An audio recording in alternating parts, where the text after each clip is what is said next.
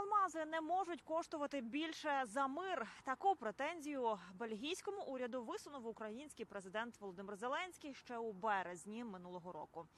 Тоді він звертався до федерального парламенту з подякою за підтримку України та біженців і натякнув на ті сфери, у яких саме позиція Бельгії є вирішальною у питанні будуть задіяні до Росії санкції чи ні. Саме ви, як держава, серце Європи, можете надихнути усіх інших європейців зробити більше, щоб допомогти нам вигнати окупантів з України, відновити дорогоцінний мир.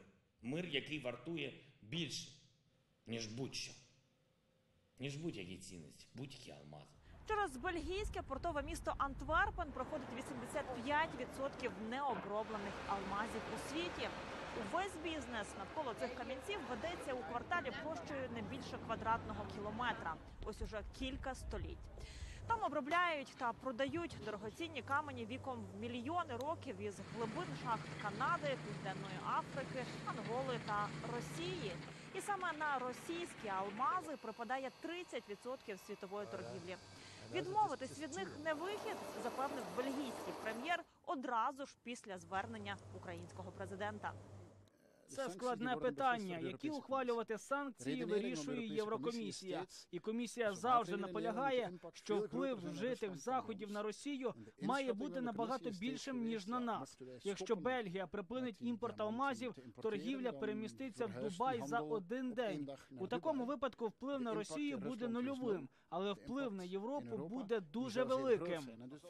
Тим часом Росія від продажу алмазів має 4,5 мільярда доларів на рік. Майже 2 мільярди від цієї суми російським компаніям платить Бельгія. За даними Міністерства фінансів США, алмази у десятці товарів неенергетичного експорту Росії.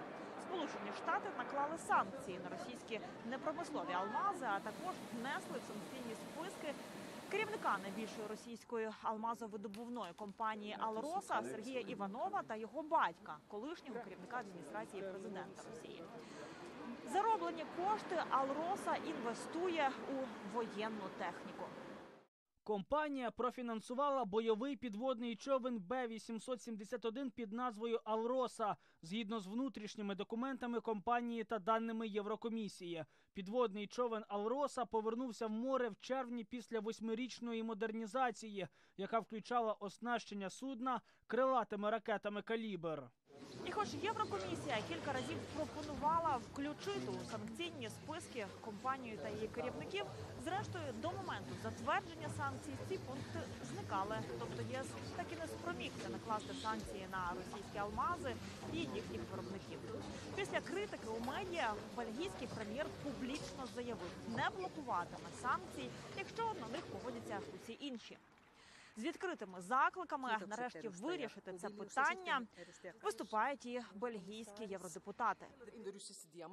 Росія заробляє величезні гроші на торгівлі алмазами. Нам треба включити цю сферу у десятий пакет санкцій. Ключові гравці російського алмазового ринку досі можуть уникати санкцій, і це питання треба вирішити разом з великою сімкою. Я пишаюся багатою історією діамантової індустрії у моєму рідному місті, але ми маємо зупинити криваву торгівлю з Росією.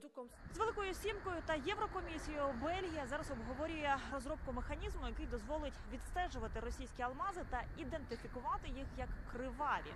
Адже наразі росіяни обходять і американські санкції, обробляють камінці в Індії, і звідти вони вже продаються як індійські алмази.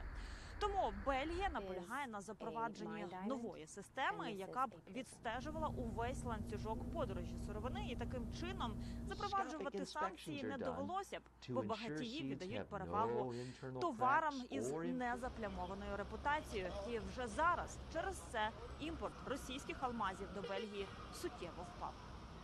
Олена Абрамович, Віталій Коваленко для єдиних новин. Подробиці Європейське бюро телеканалу Інтер.